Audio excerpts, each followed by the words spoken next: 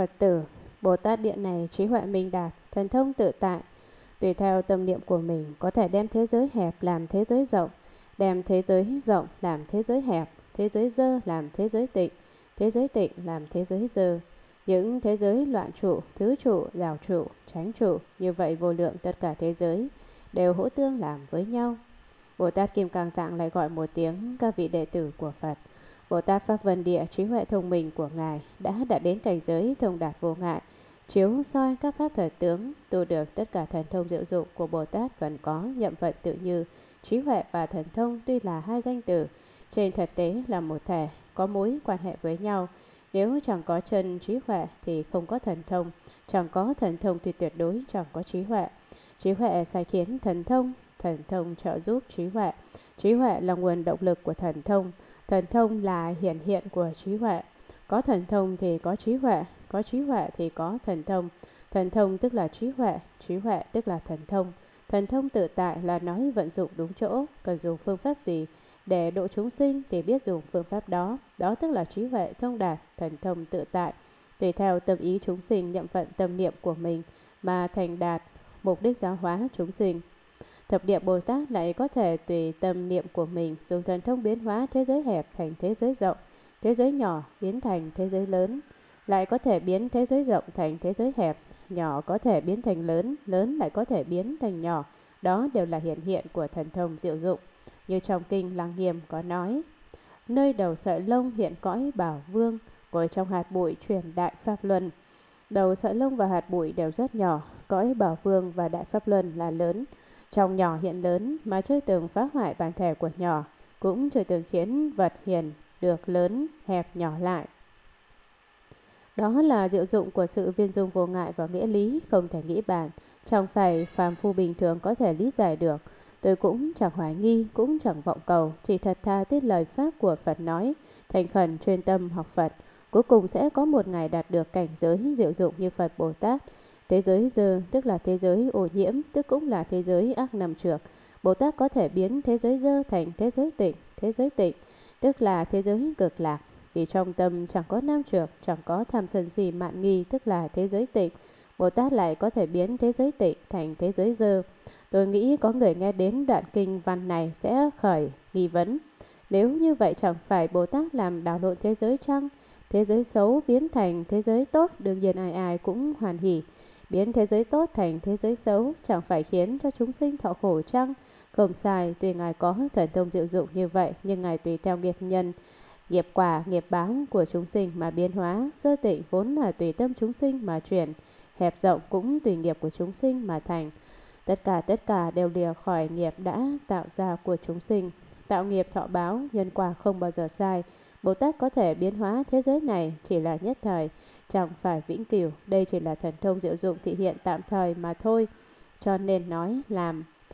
Ý nghĩa chữ làm là Bồ Tát có thể làm như vậy, có thể làm như thế.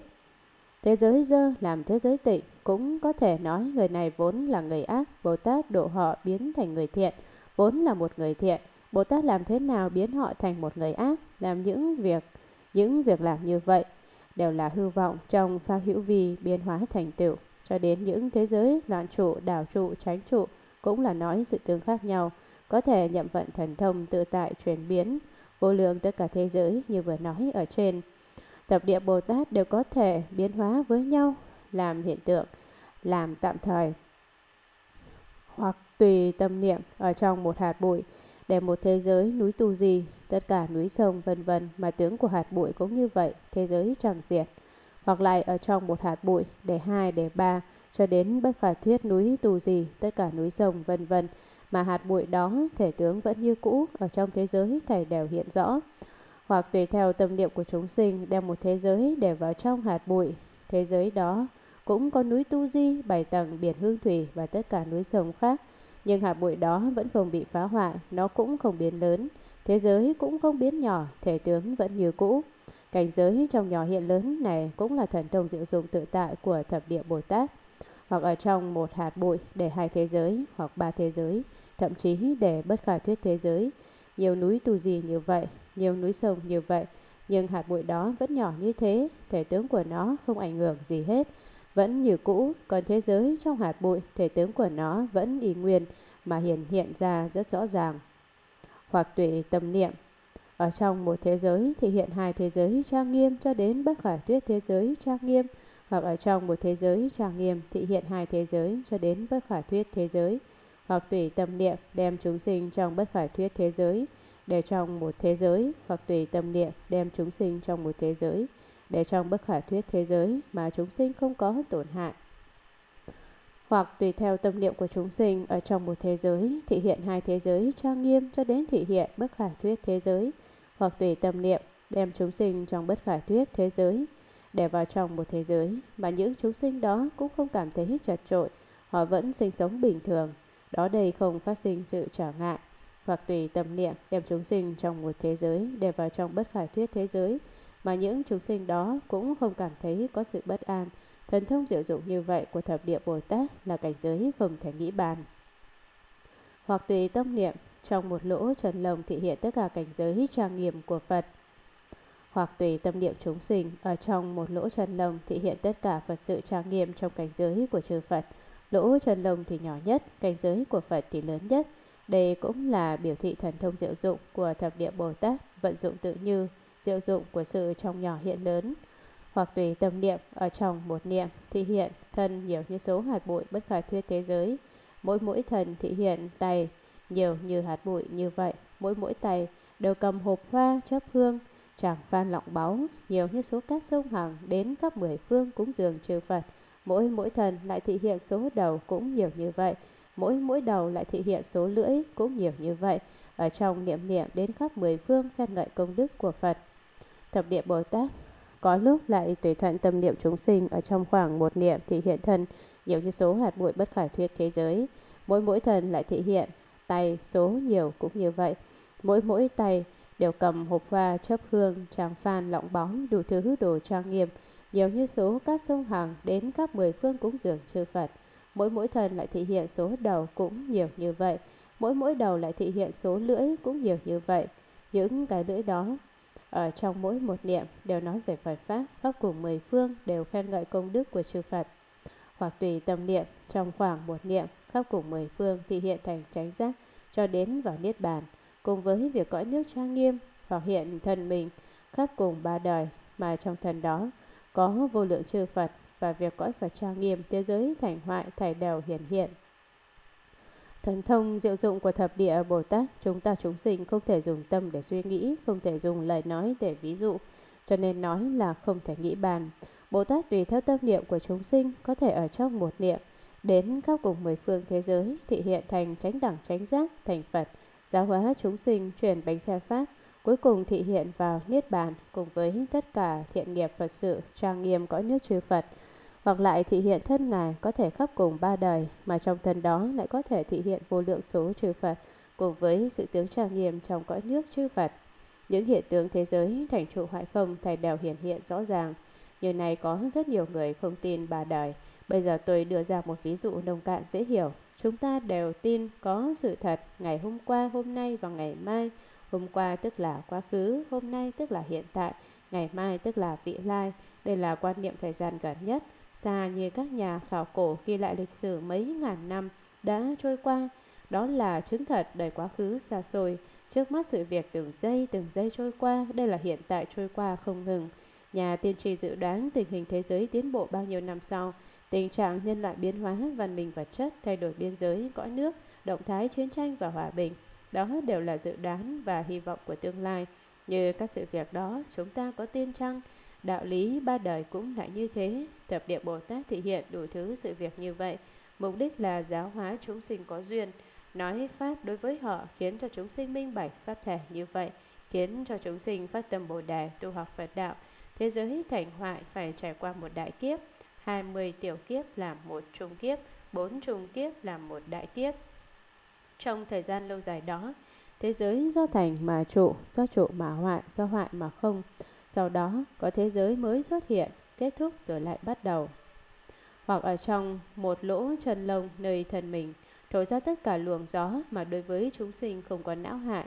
Hoặc tùy tâm niệm dùng vô biên thế giới là một biển cả, nước trong biển đó hiện hoa sen lớn, Quang minh nghiêm đẹp che khắp vô lượng vô biên thế giới, trong đó thị hiện việc cây bồ đề lớn trang nghiêm cho đến thị hiện thành nhất thiết trùng trí. Hoặc ở trong mỗi lỗ chân lông trên thân của thập địa Bồ Tát, thổi ra các luồng gió như gió nhẹ, gió lớn, gió bão, gió lốc, vân vân. Những thứ gió đó chẳng mang lớn nhỏ ôn hòa, mãnh liệt, đều không não hại đối với chúng sinh, không làm hại chúng sinh, hoặc tùy theo tâm niệm biến hóa vô biên thế giới thành biển cả. Ở trong biển cả đó sinh ra một đóa hoa sen lớn, đóa hoa sen đó phóng ra quang minh sáng rỡ rất nghiêm đẹp. Quang minh đó che khắp không biết bao nhiêu thế giới. Ở trong những thế giới đó lại thể hiện ra cây bồ đề chúa lớn. Bồ Tát ngồi dưới cội bồ đề thành đạo. Trời rồng tám bộ chúng, trừ thiền tử, trừ thần và mười phương trừ Phật Bồ Tát đều vây quanh. Nhất thiết chủng trí tức là một danh từ khác của sự thành Phật. Phật thường thường dùng chữ biển để hình dung số lượng lớn vì biển có tám đức tướng. Một dần dần sâu hơn, sâu từng chút từng chút không biết được đáy. Trước mắt tuy có đáy biển chắc lượng tra dò cũng chỉ có thể biết đại khái. Đến chỗ sâu nhất không đáy thì không thể biết được bí mật đáy biển. Hai, cùng một vị mặn. Tất cả các dòng nước chảy ra biển đều có cùng một vị mặn. ba Hải triều không quá hạ biển đều có hải triều, chiều có lúc, sóng cũng có lúc. 4. Có tất cả bảo tàng, trong biển có rất nhiều đặc sản mà trên mặt đất không có, như bảy bóng chân trâu, san hô bảy màu, hải vị danh quý, các thứ khoáng tạng, đá, dầu, vân vân. Nằm chỗ ở của chúng sinh thần lớn, trong biển có động vật rất lớn mà trên mặt đất chẳng có, như thân rồng biển dày cả mấy trăm do tuần, có cá lớn hàng mấy trăm ngàn cân, những chúng sinh thân lớn đó đều ở trong biển. 6. Không chứa tử thi, tuy biển rộng lớn vô biên sâu không biết đáy, nhưng không chứa tử thi. 7. Hết thảy tất cả dòng nước lớn nhỏ và vô số lòng vương đồng thời mưa xuống mà nước biển không thấy tăng giảm. 8. Nước các dòng sông ngòi đều đổ vào, đều mất tên cũ, ở trên là tám đức tướng của biển hoặc nơi thần mình hiện ra mười phương thế giới tất cả quang minh. Mani bảo châu, mặt trời mặt trăng tinh tú, mây chớp các ánh sáng hoặc dùng miệng hà hơi, có thể động mười phương vô lượng thế giới mà không làm cho chúng sinh có ý tưởng sợ hãi. Hoặc hiện mười phương phong tài, hỏa tài cùng với thủy tài, hoặc tùy tâm ưa thích của chúng sinh thị hiện sắc thân trang nghiêm đầy đủ, hoặc nơi thân mình thị hiện thân Phật, hoặc nơi thân Phật mà hiện thân mình, hoặc nơi thân Phật hiện cõi nước mình, hoặc nơi cõi nước mình mà hiện thân Phật. Thập địa Bồ Tát có lúc ở nơi thần ngài hiện ra vô lượng quang minh chiếu sáng mười phương thế giới. Quang minh đó như ánh sáng Mani Bảo Châu, còn có ánh sáng như mặt trời mặt trăng tinh tú mây chớp vân vân, chẳng có gì mà chẳng hiện. Hoặc dùng miệng thổi một hơi, thổi hơi tức là một sự hô hấp có thể khiến cho mười phương vô lượng thế giới bị chấn động, nhưng chẳng khiến cho chúng sinh sợ hãi. Gần đây nhất có một nhà dự đoán nói vào ngày 10 tháng sau tại San Francisco sẽ phát sinh động đất nghiêm trọng. Đây nói không chừng một vị đại Bồ Tát nào đó ở tại đó hả hơi chăng? Tôi có thể nói một câu chịu trách nhiệm rằng chỉ cần ngày nào tôi còn ở San Francisco thì tuyệt đối không để cho động đất làm cho mọi người lo sợ. Tại sao tôi dám nói như thế? Vì hiện tại tôi đang giảng Kinh Hoa Nghiêm từ năm 1968 bắt đầu giảng Kinh Lăng Nghiêm, Kinh Pháp Hoa, Kinh A Di Đà, Kinh Pháp Bảo Đàn, Kinh Kim Cang vân vân cho đến hôm nay chưa từng gián đoạn. Giảng Kinh Thuyết Pháp, tức là truyền đại pháp luân, tiền lòng bát bộ thần linh nhất định sẽ đến hộ trì đạo tràng để làm sao có tai nạn xảy đến. Thập địa Bồ Tát có lúc hoặc ở tại mười phương thế giới hiện hiện phong tai, hỏa tai và thủy tai Đại Bồ Tát hiện hiện tai nạn khiến cho chúng sinh thọ tai nạn thống khổ. Đây chẳng phải là Bồ Tát không từ bi, cố ý chơi cười với chúng sinh cho chúng sinh chịu khổ. Đây là đối với những chúng sinh tạo nghiệp, cố ý cho chúng sinh một chút tai nạn để cho họ chịu khổ mà sinh tâm giác ngộ. Bổn lai phải có trăm ngàn người thọ tai hại tử vong, như này bất quá tử vong một số người. Đây là ý nghĩa tiểu trưng mà đại giới. Có lúc cũng do tai nạn tổn thất rất lớn, tử vong rất nhiều. Hiện tượng đó là một thứ công nghiệp, là do chúng sinh tự tạo nghiệp ác, cho nên không thể tránh khỏi tai nạn. Tôi nói như vậy, đây chẳng phải là biện hộ cho Bồ Tát. Do đó có câu phải đạo thì tiến, trái đạo thì lùi, tin hay không các vị tự suy ngẫm. Bồ Tát có lúc lại tùy tâm hoan hỷ của chúng sinh, lại thị hiện một vị thiếu niên tướng mạo rất viên mãn, đoàn tràng tốt đẹp, ai thấy cũng đều sinh tâm hoan hỷ, thích gần gũi. Xưa kia có vị Ngọc Lâm Quốc Sư tướng mạo đoan tránh viên mãn, thân như liều lì, con gái của vương tể tướng thế lần đầu dù bỏ mạng cũng muốn kết hôn. Ngọc Lâm Quốc Sư lúc đó giữ chức hương đăng trong chùa, đương nhiên không thể cưới cô ta, nhưng giữa hai người có một đoạn nhân duyên kiếp trước, và vương tiểu thư chỉ có Ngọc Lâm mới độ được. Do đó Hòa Thượng Phương Trượng kêu ngài hoàn tục để giải quyết câu chuyện này. Trong đêm động phòng Ngọc Lâm Quốc Sư nói với Vương Tiểu Thư hướng dẫn cô tham thiền chạy hương, chạy đến nỗi đầu tóc tán loạn, mồ hôi chảy khắp mình, tay chân mệt mỏi, son phấn lè bẹt, mặt mày trông khó coi.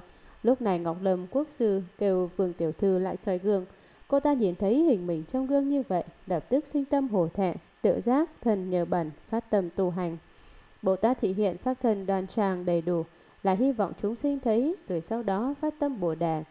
Lại như Bồ Tát Địa Tạng Vương thuở xưa khi làm trưởng giả tử, đâu chẳng phải khi thấy tướng tốt của Đức Sư Tử phấn tấn cụ túc vạn hạnh như lai ngàn vạn trang nghiêm do hỏi Phật nguyện gì mà được tướng như thế. Phật đáp phải độ thoát tất cả chúng sinh thọ khổ lâu dài. Bồ Tát Địa Tạng lập tức phát đại nguyện hết thuở vị lai không biết bao số kiếp vì tất cả tội khổ chúng sinh rộng bảy phương tiện khiến giải thoát hết mới thành Phật đạo. Bồ Tát Địa Tạng Vương phát hoàng thệ nguyện này quả nhiên đắc được tướng tốt trang nghiêm. Bồ Tát hoặc nơi thân thể mình thị hiện làm thân Phật trang nghiêm đầy đủ giống như Phật, hoặc lại ở nơi thân Phật mà hiện làm thân mình. Thân Phật thân mình không hài không khác, hoặc tại thân thể của Phật hiện ra cõi nước của mình, hoặc tại cõi nước của mình lại hiện ra thần Phật.